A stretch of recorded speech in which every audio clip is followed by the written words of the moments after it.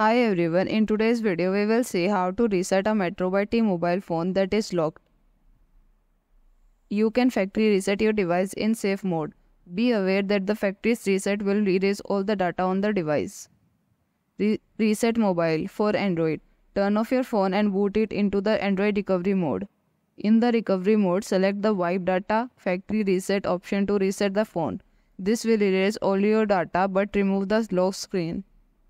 Reset mobile for iPhone. For iPhone 8 and later, press and quickly release the volume up and down buttons, then press and hold the side button until the recovery mode screen appears.